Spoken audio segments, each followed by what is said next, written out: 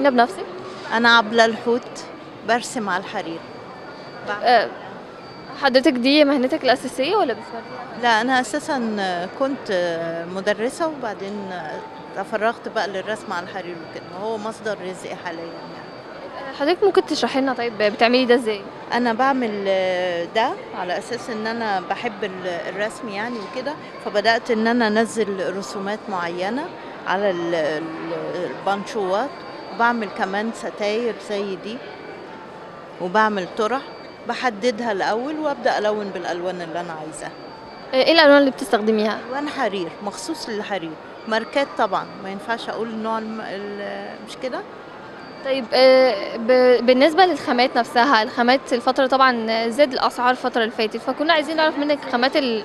الخامات زاد بصراحة زيادة رهيبة. ولكن ما أقدرش استغنى عنه لأن هو ده مصدر رزقي. فزودوا بعد موضوع تعويم الجنيه. زودوها بطريقة غريبة يعني. بس لسه. لا زادت بنسبة 100% يعني تخيلي هي مثلا الإزازة كنت بجيبها ب 90 جبتها ب 250 يبقى كام؟ دي أكتر من 100% ولا إيه؟ آه. طيب آه، يعني انت دي أول مرة بتع... طيب دي أول مرة أصلا بتشاركي في المعرض؟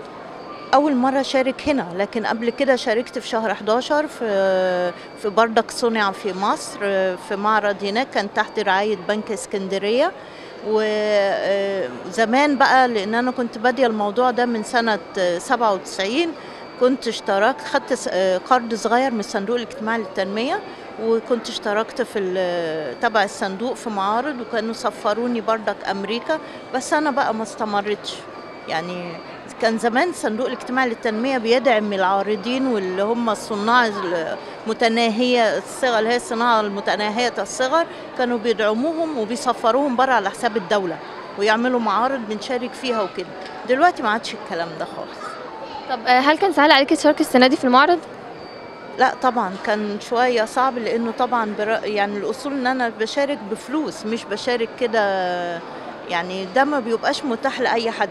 يعني الأحسن إن الدولة تعمل معارض وتش... الناس يشتركوا فيها من غير آه، فلوس. يعني مجانا إنها بس تسمح لنا إن إحنا نعرض.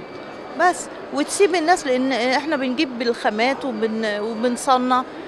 مش أنا بس أنا بتكلم بالنسبة للجميع يعني. بنجيب الخامات والخامات بتبقى غالية وبنصنعها وبعد كده بنبدأ نبيعها.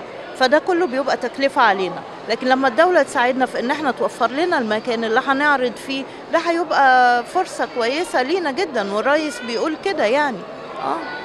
طيب آه، ارتفاع الأسعار ده هل أثر على أسعار بقى الحاجات هنا في المعرض عن كل سنة مثلا؟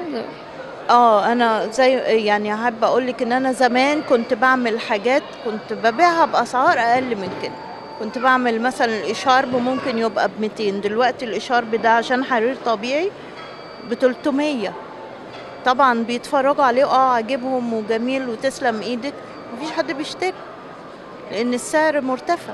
أنا أنا بقول إن السعر مرتفع بس دي التكلفة لأن ده حرير طبيعي. الحرير الطبيعي غالي والخامات غالية وشغل الإيد ده بيعتبر هامش ربح يعني. طيب شايفة إن ده أثر على الإقبال هنا في المعرض ولا لأ؟ إقبال على المعرض ده بسبب الدعاية. إن فعلا هم عملوا إعلانات بره بره في الشوارع يعني بس في منطقة معينة. وبعد كده الإعلانات دي اتغطت عليها بإعلانات تانية لحاجة تانية يعني ما استمرش لحد بداية المعرض.